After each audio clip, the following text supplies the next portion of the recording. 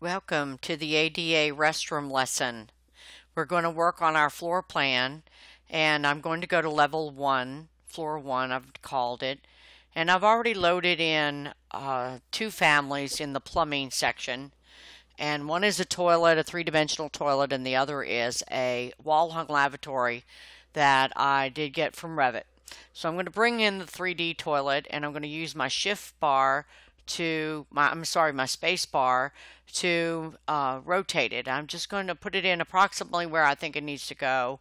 I know I want, I want the two back to back on the plumbing wall that's been set up for me. And because the ADA guideline says that I need 18 inches to the center line, or it's actually arranged that I can have, uh, but I like 18 inches. And uh, so what I do is I touch the toilet there and I uh, type in uh, the correct dimension and then I go over to the modify menu. I have my buttons closed down right now and I'm going to go over the modify menu and use Align to line up the center of the toilets with each other. And I know that they're the correct distance apart from the wall. So now I'm going to bring in the larger lavatory. It already has a mirror attached to it. I'm going to see how that works out and I'm going to place that. It's a wall hosted item, so it needs a wall. And for right now, I'm going to leave it only one because I want to try out um, my clearances and make sure that I have the proper clearances. Now, instead of doing a lot of work on the main floor plan, which I'm going to lose the information later, I need to make a call out. So I'm going over to the View tab and I'm going to make a window of sorts around the area that's going to be enlarged. And it, going over to the project browser, I'm going to see it under floor one, call out one, and I'm going to end up renaming that to be enlarged uh, toilet plan. And we'll leave it at quarter inch scale for now. There's good reason to, to think that I might update it later. I'm going to turn off the floor for now. Uh, later, we're going to split that floor and put porcelain tile in there just using the annotate, uh, I'm sorry, the dimension, the annotate tab, getting my dimension to the center line one more time, and then checking my other clearances in the room. I'm going to run, draw a detail line around my lavatory, and the clearance for the lavatory is measured to the center line of the drain. It's 30 inches by 48 inches. So I'm just getting my rectangle here. After we get that, we're going to want to center it and move it into place. So I'm just grabbing the center line of my box and um, moving it in uh, to the center line of the drain. We're going to text, put some text on that, 332nd, and denote the clearance. So we write in the clearance here, the 30 by 48, and uh, we'll call it clear space. You're going to end up doing this for both of the fixtures, and you're going to use all caps in any kind of writing that you're going to do on these construction documents. Now we're going to go investigate the toilet clearance that we need, uh, which is 56 by 60 inches in uh, this in this particular room. Um, it does vary whether you're doing a, a toilet compartment stall or you're in uh, a single user restroom. Now, dimensions will update dynamically when you select several things, but you can see that you can't manipulate the dimension to be exactly right. So I'm going to use uh, this one line here to establish my uh, uh, left side clearance, and then I need to double check that I haven't changed the clearance at the lavatory. So we're going to put in some annotative uh, lines to indicate the clear space around uh, the toilet. And I need to come in 60 inches deep here. As I said, you'll have your clear space on both toilets. You're going to end up doing both toilet rooms in your call out, and you need to dimension and detail both, but you only need elevations uh, for one uh, restroom. The other room is going to be similar. So this is the uh, floor plan, uh, the call out, uh, where we can do our dimensions with some confidence. This is where we want uh, some detail. So we're going to be able to put in a door now that we know where all of our fixtures are and our clearances are.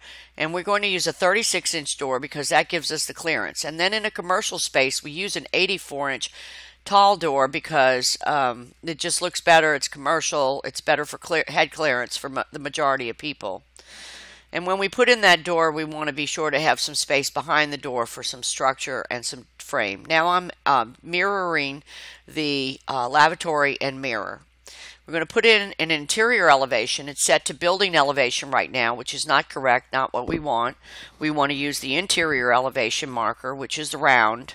And we, um, you can see it's grabbing a different wall. And we're just going to grab this back wall here, and eventually we'll move the, um, the marker down. Um, and in order to do the rest of the elevations, we just check off if you recall, and we do have to fix how the labels are going to be.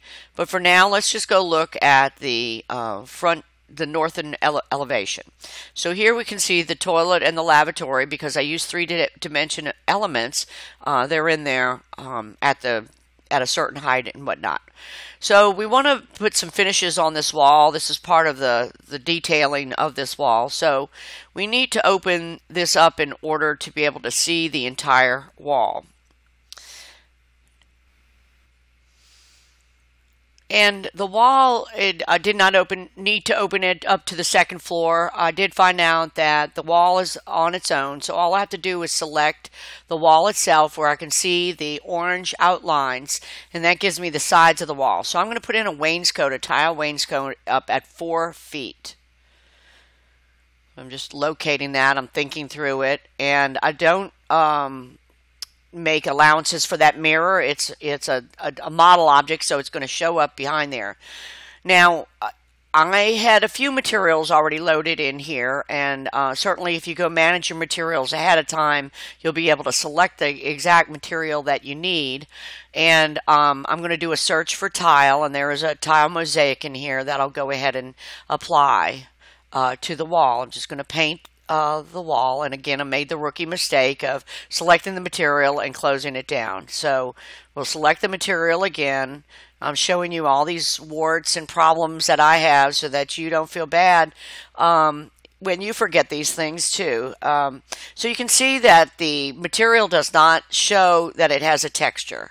So we're going to go look at it in realistic just to make sure that we did put the material on the wall.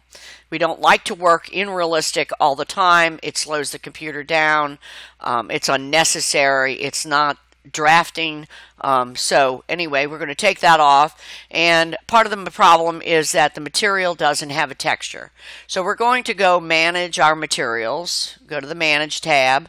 Go all the way to the left to materials. And I'm going to call up that same tile pattern.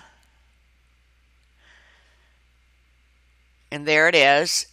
And, and uh, if we open this up, we can see it's not under appearance. Now, if we want to change what this tile looks like, we go and take care of that picture down there. But it's surface pattern rather that we want. So because that's a mosaic tile, I'm going to use this small crosshatch and I'm going to put that in and you can see it's it's there right away. It's not exactly indicative of what that mosaic looks like but you can actually modify that kind of um, pattern if you want to um, and get it more accurate. Now what's difficult to do is things like a brick pattern.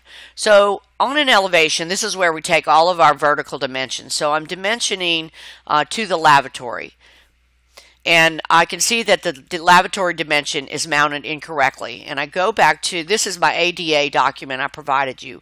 And the reason I'm showing this to you, there's not a good diagram in the book that talks about it.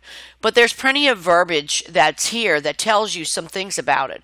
So there where they're talking about something for a child who's six, children who is 6 through 12 years. But really what we need is this line right here. A lavatory for a single occupant is that the height of it be no more than 34 inches. We also need to know that we need to cover all of the exposed pipes and whatnot. So we need to bring this down to 2 foot 10, which is our 34 inch uh, dimension for that. And it moves, because the mirror is integral with this, it's moving together. Uh, you may have a separate mirror. The mirror must be mounted at 40 inches off the floor. So here we are. Uh, we're looking at the rest of the elevations. You need to go into every elevation and um, put in the grab bars and the toilet tissue dispenser. Now you can go over to the Bobrick website and download some BIM objects um, such as the grab bars, the toilet tissue dispenser, the paper towel dispenser. You will need all of these accessories. The accessories are something that we're going to denote and tag on the plans, and uh, there may even be an accessory schedule. This is an important part of what the designer and architects provides because these objects and elements are very expensive and they're required by code so they need to be in the drawings. In the end this is what your drawing should look like or better